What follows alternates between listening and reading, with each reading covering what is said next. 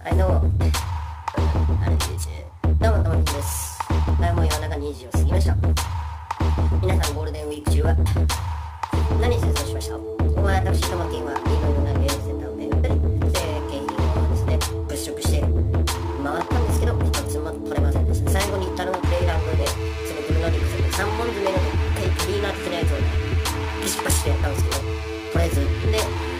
で、違う景品もやったんですけど、一個も取れず、そこはもう諦めて、また次の日ね、次の日とか次回にね、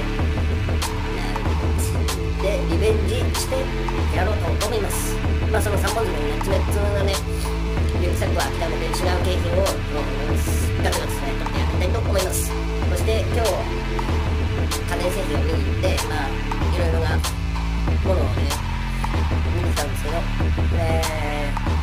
一人でね、寂しくね、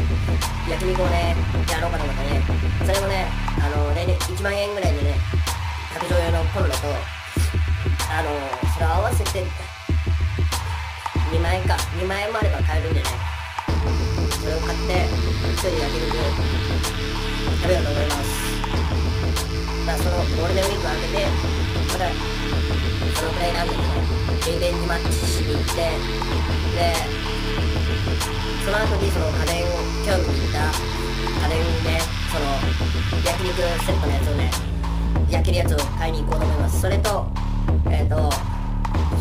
卓上用のね、あの、コンロ、あれを買って、一人バーベキューをね、楽しもうと思います。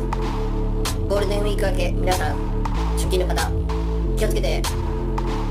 体に気をつけて出勤してください。えー、最近事故とかね、そういうのが結構あるんでね、本当、心配なんでね、気をつけて行ってきてください。それではまた次回の動画でお会いしましょう。